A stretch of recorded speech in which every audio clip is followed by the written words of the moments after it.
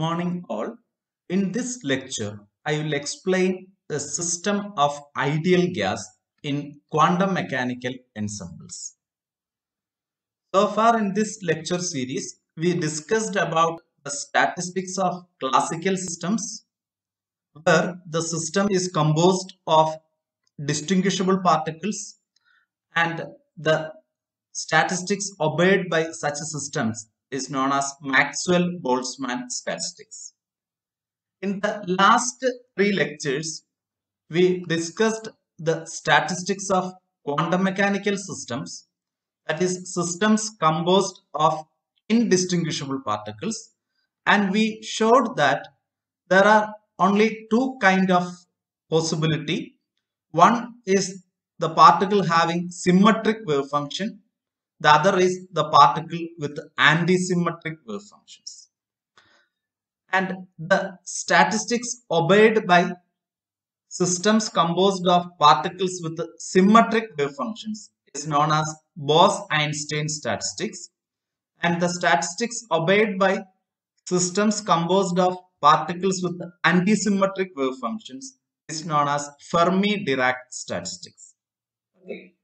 Now, we will consider the case of quantum mechanical microcanonical ensemble first. Then we will consider the quantum mechanical canonical ensemble as well as quantum mechanical grand canonical ensemble. And we will consider the simplest of the system that is a system of ideal gas. Okay. So consider a system of n non-interacting indistinguishable particles confined to a volume V and sharing an energy E.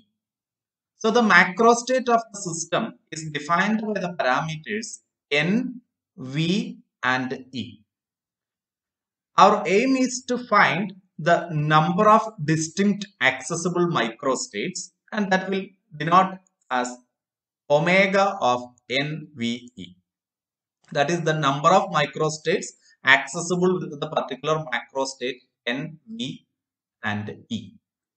Here we are considering the microcanonical ensemble that is it is an isolated system so energy is fixed. Now for very large volume V the single particle energy levels will be very close to each other because the spacing is inversely proportional to volume. So for very large volume the energy levels will be very close to each other and our idea is to divide the energy levels into group of levels. Okay? With ith group having gi number of levels. I will explain. Consider a set of energy levels. The spacing decreases as we go up. Now since these energy levels are very close to each other you can divide them into different cells you consider first cell with an average energy E1. Okay. E1 is the average energy of this set of levels in the first cell. These cells are separated by these red lines. Okay. So this is the first cell. There are a lot of energy levels. Average energy of this is given by E1. This is second cell. There is also a lot large number of energy levels. The average energy is E2 and for this cell the average energy is E3 and so on. Now the number of uh, levels energy levels in this particular cell is G1 number of energy levels in this particular cell is G2 and so on. Again this G1 levels may contain N1 particles this G2 levels may contain N2 particles D3 levels may contain N3 particles and so on. Okay, so I hope it is clear. There are a lot of energy levels. The spacing is very small. So we divide them into different cells and this E1, E2, E3 represents the average energy of each cell and G1, G2, G3, G4 are the number of energy levels in each cell N1, N2, N3, N4, etc. are the number of particles in each cell. Okay. Now, the total number of particles in the system is capital N. In this cell, there are N1 particle. In this cell, there are N2 particle. So, therefore, the total number of particles should be capital N. That is sigma i Ni is equal to N. This summation will run over all the cells. All the cells. Now, total energy should be E. Suppose there are N1 particles in this cell and the average energy of this cell is E1. So, this energy of this particular cell will be N1 E1. There are N2 particles in this cell and the average energy is E2. So, total energy of particles in this cell will be N2 E2. Therefore, the total energy E can be written as sigma i Ni Ei. Again, this summation is over all the cells, not all the energy levels, all the cells.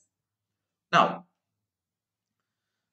we have to find the number of microstates. First, we will calculate the number of ways in which Ni particles can arrange in Gi levels. So, what is the number of ways in which we can arrange this N1 particles in this G1 levels? N2 particles in this G2 levels. That we will calculate first. The number of ways in which Ni particles can arrange in Gi levels. I will give you a simple example. Let there be two particles and three levels. That is, this Ni is 2, Gi is 3. Okay, two particles and three levels. And uh, we will consider three different cases. Distinguishable particles, that is the classical case. For a comparison, I will uh, give you the classical case also. And the indistinguishable one, the quantum mechanical case, that consists of two uh, different systems. One with symmetric wave function, that is bosons. The other with anti-symmetric wave function, that is fermions. Okay, so from here onwards, I will consider three different cases. One is distinguishable particle, that is the classical case. Second one is indistinguishable particles, that is the quantum mechanical case. And again, in that we have bosons as well as fermions. Bosons will obey uh, Bose-Einstein statistics and systems composed of particle with a symmetric wave function. Fermions are will obey Fermi-Dirac statistics and the system composed of particles having anti-symmetric wave function. Okay. Now, the particles are distinguishable. So, the two particles I can denote it as A and B. We have three energy levels in that particular cell. Okay, three levels are there, two particles are there. So, what are the possible arrangements? One arrangement is this one, AP. Second one is this one. Okay, in the middle uh, energy level, there are two particles. And the third one is this one.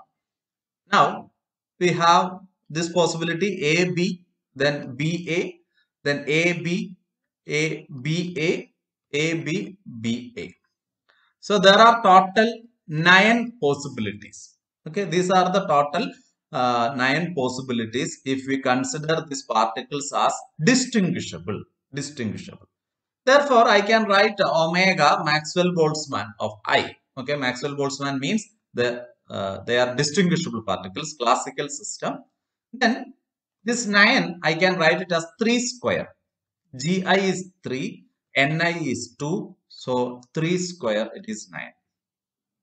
If they are indistinguishable particles, I cannot write them as A and B. I will denote it as two red dots. They are indistinguishable. Okay, they are identical, indistinguishable. And uh, if the particles are bosons, from my previous lecture, we can see that this there is no restriction for the number of particles in a particular energy level. But if you are considering fermions, there is restriction for number of particles in a particular energy level and that can be either 0 or 1. That can be either 0 or 1 in the case of fermion. But in the case of bosons, there is no such restriction. So, for indistinguishable particles bosons, we have these six possibilities. Two particles in this state, two particles in the middle state, two particles in the low state. Then one particle in the middle state and one particle in the uh, upper state. If you interchange these two, that will not give you a new state. But if these particles are distinguishable, if you interchange these two A and B, that will give you a new state. That is the difference between this distinguishable and indistinguishable system. So, total there are six possibilities. There are six ways in which you can arrange two particles in three levels in the case of bosons. So, how can we obtain this number 6? That is nothing but 2 plus 3 minus 1 factorial divided by 2 factorial into 3 minus 1 factorial. That is the numerator you will have 4 factorial 24 divided by 2 factorial into 2 factorial. So 24 divided by 4 you will get 6. Now in the case of fermions you have again 3 levels and 2 particles. So the maximum number of particles that an energy level can occupy is uh, 1. So the only three possibilities are shown here. So I can obtain this number 3 by writing it like 3 factorial divided by 2 factorial into 3 minus 2 factorial. That is 3. Now, in general, if there are Ni particles in the Gi levels, in the ith cell, okay, in the ith cell, I have Gi levels and the Ni particles and the number of ways in which we can visualize that uh, arrangement is given by, in the case of Maxwell-Boltzmann, that is distinguishable particles, WMB of I is equal to Gi raised to Ni. Gi raised to Ni. Here you have 3 square. Okay. 3 is uh, the value of Gi, 2 is the value of Ni. So in general, I can write Gi raised to Ni is the number of ways in which we can arrange Ni distinguishable particles among Gi levels. Now, if the particles are indistinguishable and bosons or obeying Bose-Einstein statistics, then W of BE I is equal to Ni plus Gi minus 1 factorial divided by Ni factorial into Gi minus 1 factorial. If you uh, want an explanation for this equation, please refer lecture number 13 where we discussed about this relation. Okay. Now, in the case of Fermi-Dirac systems, among the GI levels, you have total number of uh, levels GI and Ni particles. So some levels may have one particle each and some levels may have zero particle each. There are only two possibilities. Some levels may have one particle, some levels may have zero particle. So the total number of possibility is given by the total GI factorial divided by one of the possibility is Ni levels with one particle each and remaining Gi minus Ni levels with zero particle each. So the total number of ways is Gi factorial divided by Ni factorial into Gi minus Ni factorial.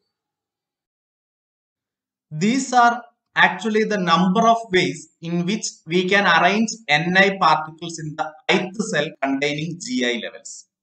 Okay, so we have uh, different cells and in which the ith cell have GI levels and Ni particles.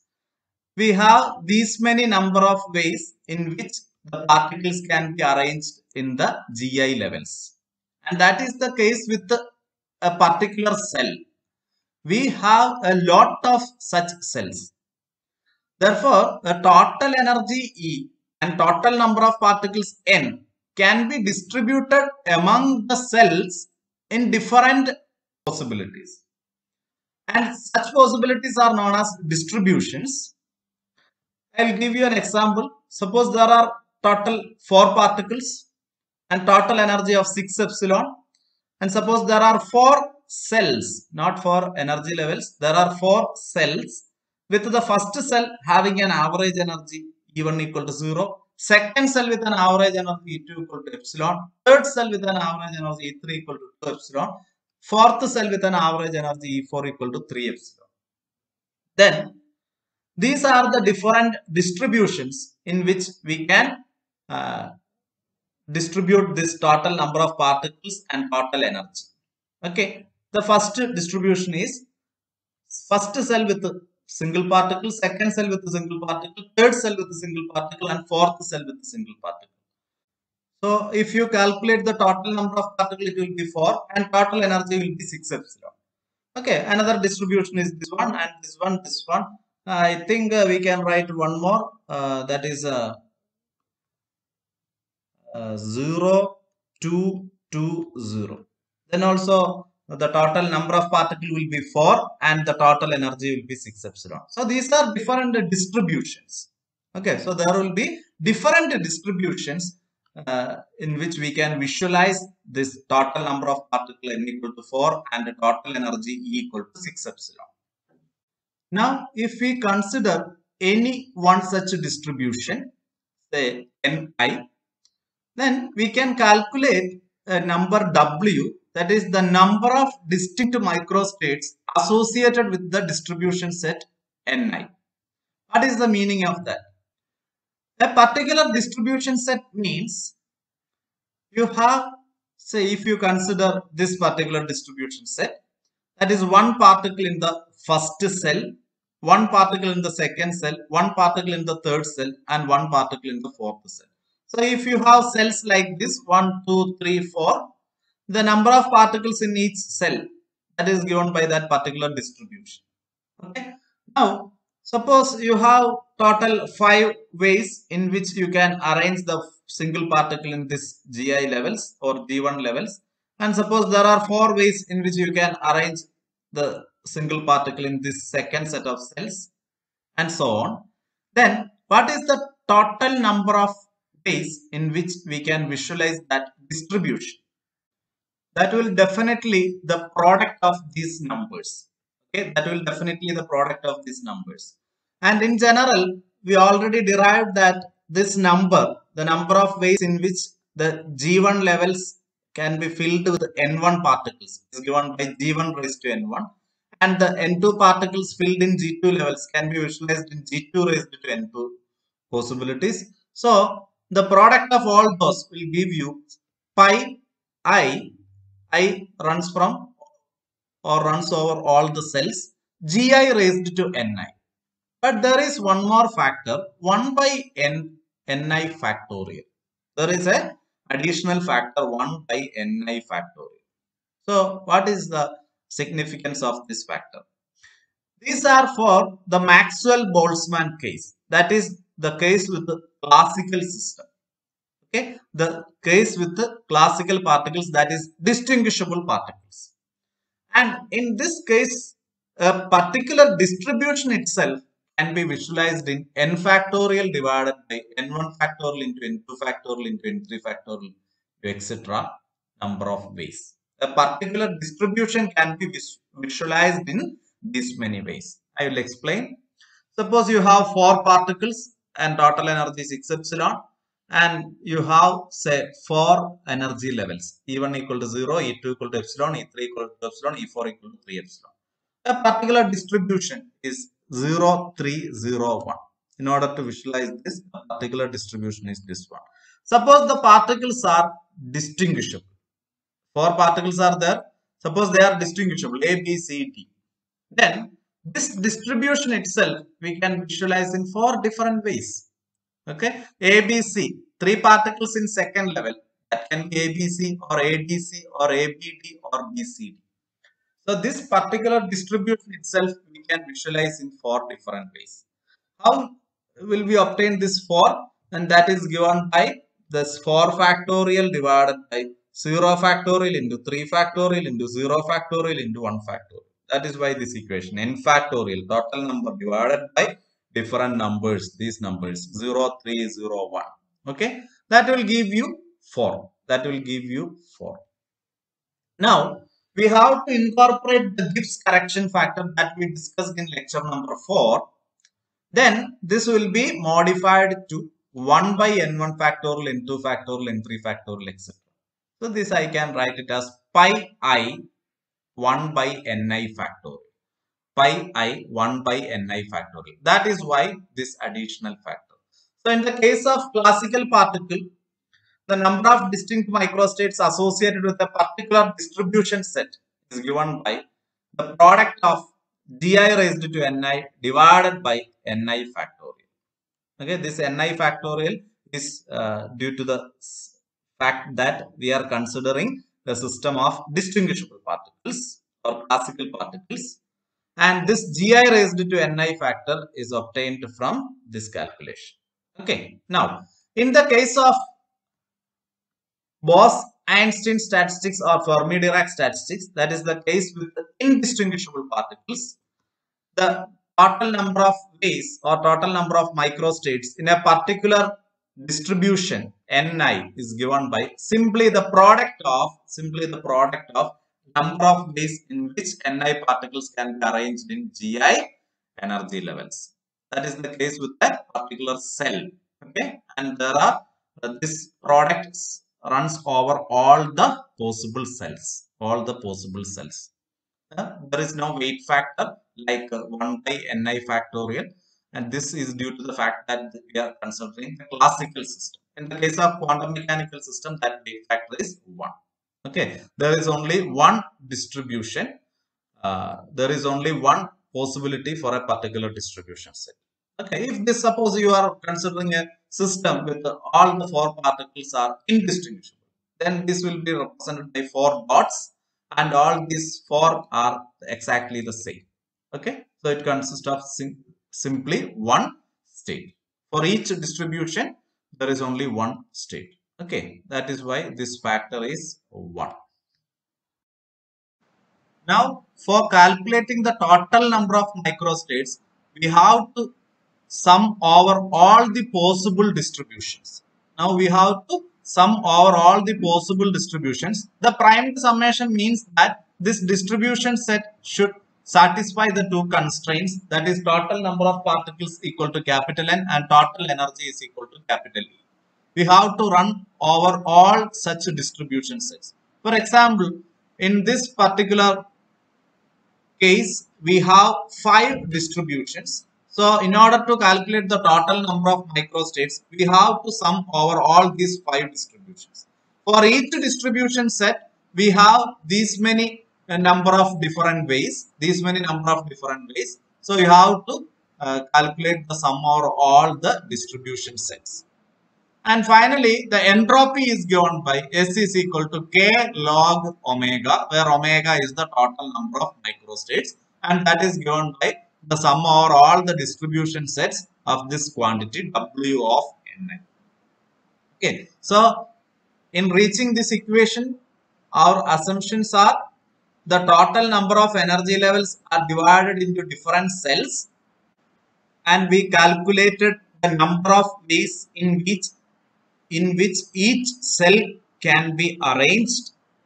Then we take the product of all those numbers in order to get the number of ways in which a particular distribution can be visualized and then we summed over all the possible distributions in order to get the total number of microstates. Okay, that is the procedure we employed in reaching this expression. Now, this logarithm of a sum of terms, we can replace it with logarithm of largest term in the sum.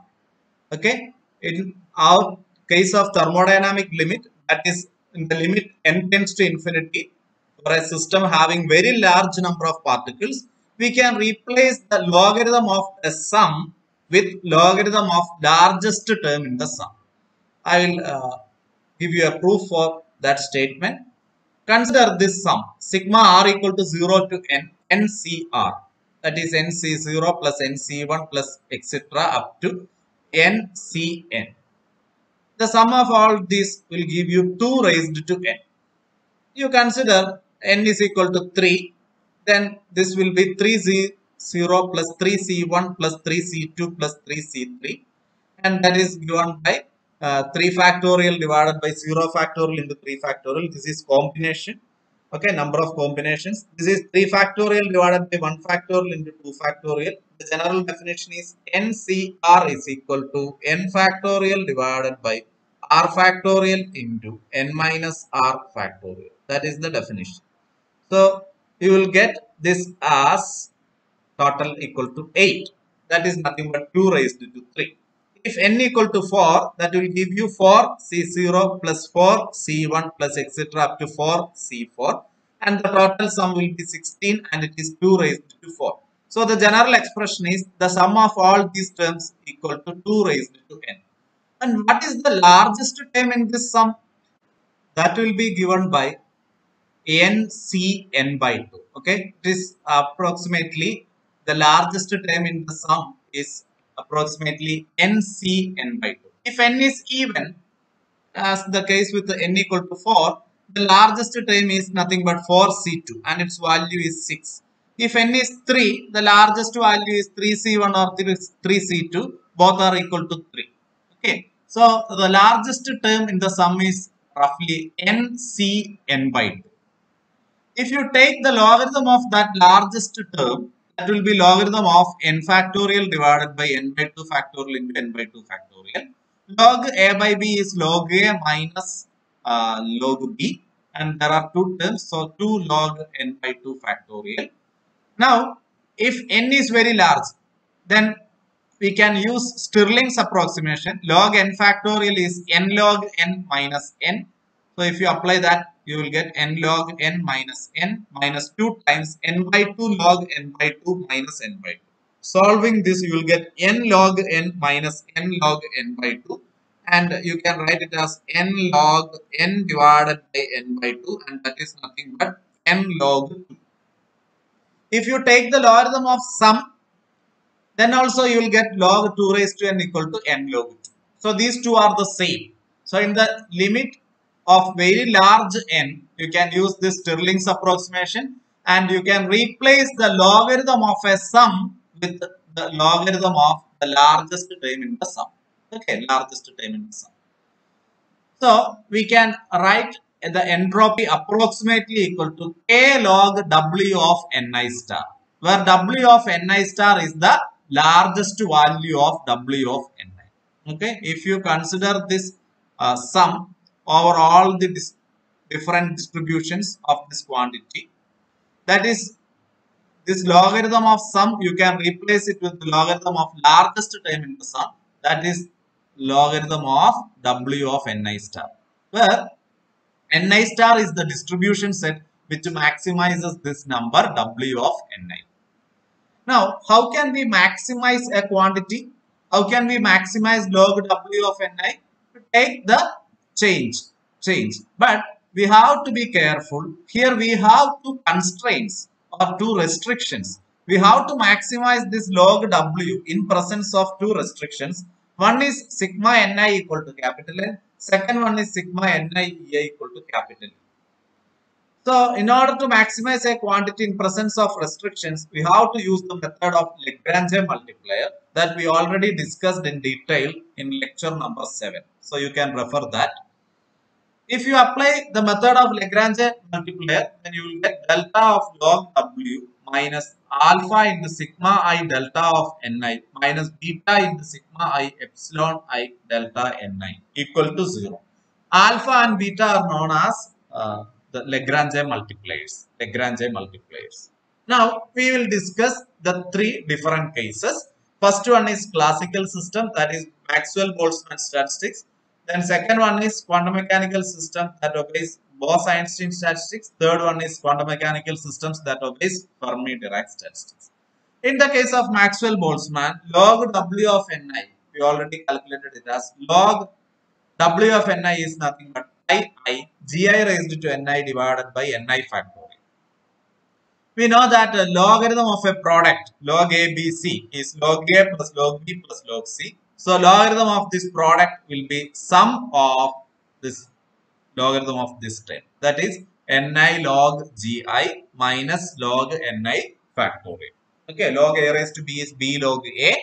Uh, log a by b is log a minus log b. So using that expressions, this pi, the product uh, changed to the sum sigma ni log gi minus log ni factorial. Now sigma ni log gi minus this you can apply Stirling's approximation. So ni log ni minus ni there is a negative sign so that becomes plus.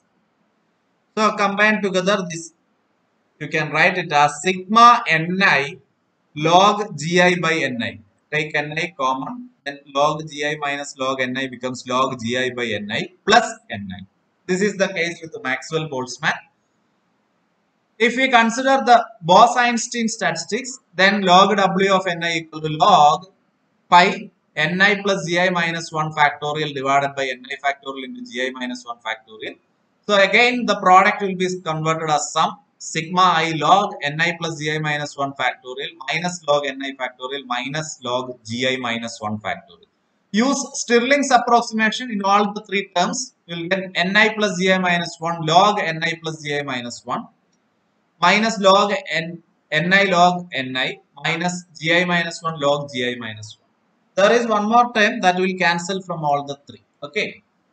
Here you will have minus Ni plus Gi minus 1 and here we will have a plus Ni. Here you will have a plus Gi minus 1. So all those terms will cancel. Now if Ni is very much greater than 1 and Gi is very much greater than 1, you can neglect this minus 1. So you can write the first term as Ni plus Gi log Ni plus Gi. The last term you can write Gi log Gi. Now Ni log Ni plus Gi minus Ni log Ni that you can write as Ni log 1 plus Gi by Ni. The second term Gi log Ni plus Gi minus gi log ni you can write it as gi log 1 plus ni by gi. This is the case with Bose-Einstein statistics. The Fermi-Dirac case, the log w of ni is log pi i gi factorial ni fact divided by ni factorial into gi minus ni factorial. Again this pi will change to sigma log gi factorial minus log ni factorial minus log gi minus ni factorial. Stirling's approximation. Then finally arranging this you will get sigma i ni log gi by ni minus 1 minus gi log 1 minus ni by gi. These terms uh, will cancel. Okay, this uh, minus gi plus ni plus gi minus. These terms will cancel. Rearranging of the other terms, you will get this term. Okay.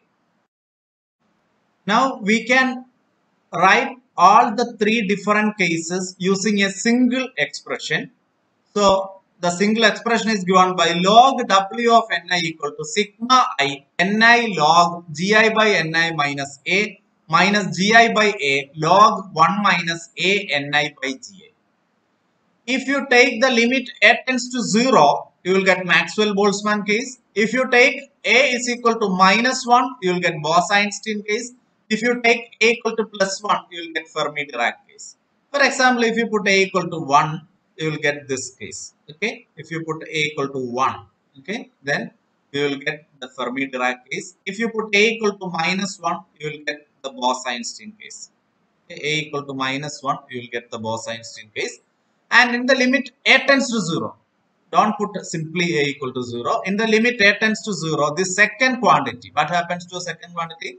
Minus gi by a log 1 minus a ni by ga that becomes minus gi by a into log 1 minus x. What is the expansion of log 1 minus x? It is minus x minus x square by 2 minus x cube by 3 and so on. And if x is very small, you can neglect the higher order terms. You can retain only this minus x. So, if you retain only the first term and neglecting all other, because a is very small, a tends to 0, so the, you can neglect the second order terms. The first two terms, if you multiply this one, okay if you multiply these two gi will cancel a will cancel minus and minus becomes plus ni so this last term becomes plus ni and you can look at the expression of maxwell boltzmann case ni log gi by ni plus ni plus ni. Okay? The second term will contribute a plus ni and this a is 0 so you can write as ni log gi by ni plus ni. So by inserting a parameter a and writing a common expression like this, you can treat all the three cases, okay, simultaneously. Okay, you can write simply write this expression. If a tends to 0, you will get Maxwell-Boltzmann. If a equal to minus 1, you will get Bose-Einstein. If a equal to plus 1, you will get Fermi-Dirac. Okay.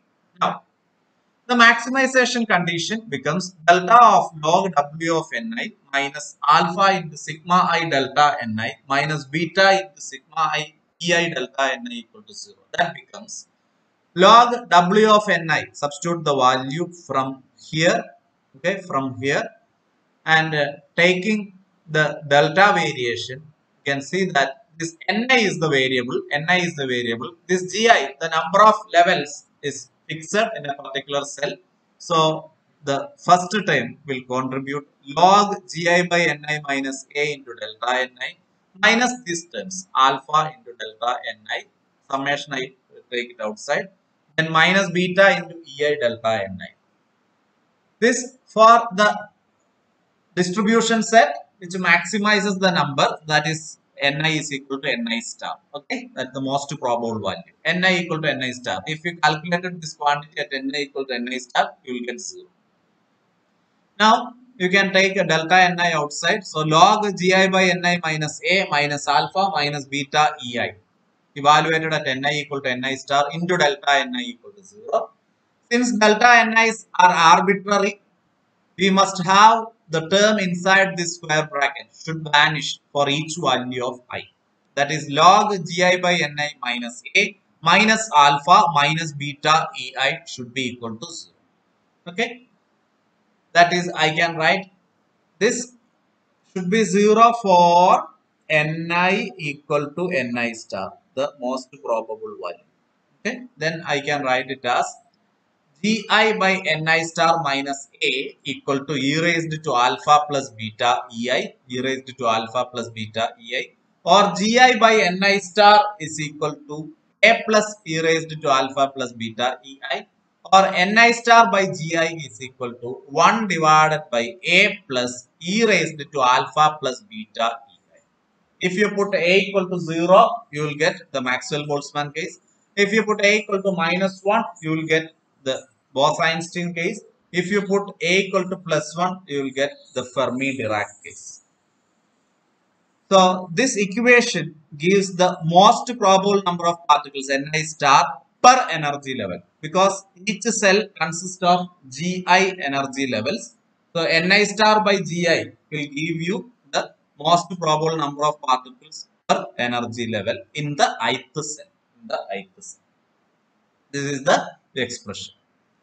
Now, entropy is given by S equal to K log W of Ni star. W of Ni star. W log W of Ni we already know the value. Substitute Ni as Ni star. So, S by K is equal to sigma i Ni star log Gi by Ni star minus A minus Gi by A log 1 minus A Ni star by Gi.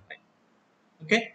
So, this is nothing but Ni star into alpha plus beta ei alpha plus beta ei minus gi by a log 1 minus a divided by a plus e raised to alpha plus beta ei. What is the uh, from where we obtained all this?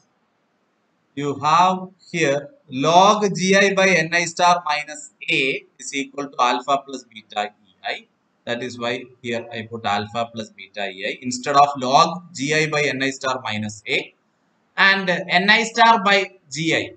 We already have this value ni star by gi as 1 by a plus e raised to alpha plus beta ei. Okay, that we substituted here. Now this is ni star into alpha plus beta ei minus gi by a log to take LCM, a will cancel. So e raised to alpha plus beta ei divided by a plus e raised to alpha plus beta. This is sigma i ni star alpha plus beta ei plus gi by a. How this becomes plus? You take uh, invert this uh, logarithm type. Okay, log a by b, you take it as minus log b by a. Okay, so uh, invert, take the inverse of this. So that becomes logarithm of e raised to alpha plus beta ei plus a divided by e raised to alpha plus beta ei. So S is equal to sigma i ni star alpha plus beta ei plus gi by a log this term becomes 1 plus a into e raised to minus alpha minus beta ei. This is the equation for entropy. But sigma i alpha ni star is nothing but alpha into n, the total number of particles. Because if you sum over all the cells ni star, you will get the total number of particles. Similarly, sigma i beta ei ni star, that will be simply beta e.